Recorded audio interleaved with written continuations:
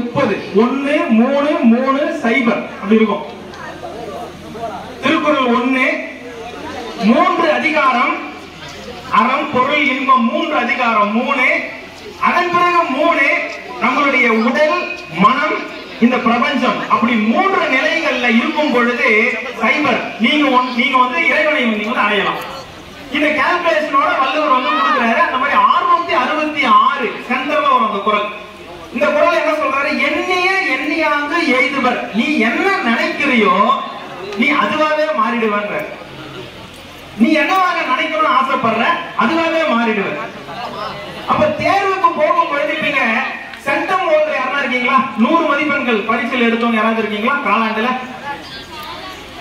சரி நீங்க இப்ப பரீட்சைக்கு போகும்போது எவ்வளவு மார்க் நீங்க டார்கெட் வச்சிருக்கீங்க சொல்லுங்க. ஹண்ட்ரடு தொண்ணூத்தஞ்சு. இருக்கா? ஆ சரி. இப்ப கவனிங்க. இந்த இலக்கை கவனிங்க. இப்ப நம்ம முடிக்க போறோம் முடிக்க போறோம். நான் வந்து இந்த பயிற்சியை இரண்டு மணி நேரம் ரொம்ப சுவாரஸ்யமா கொண்டு போவேன். இப்ப நாங்க ரொம்ப வேகமா போயிட்டு இருக்கோம். முடிக்கிறதுனால வேகமா போயிட்டு இருக்கேன் இது ரொம்ப சுவாரஸ்யமா இருக்கும் அவ்வளவு இன்ட்ரெஸ்டா இருக்கும். கவனிங்க. அப்ப இது ஏன் இந்த நம்பர் வேறுபடுது?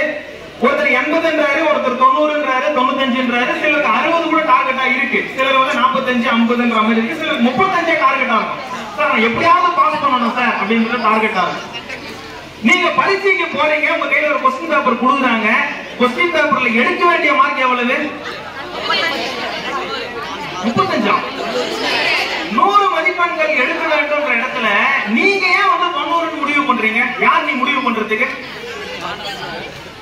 அந்த இலக்கை தீர்மானிக்கிறது உன்னுடைய இது கிடையாது. உனக்கு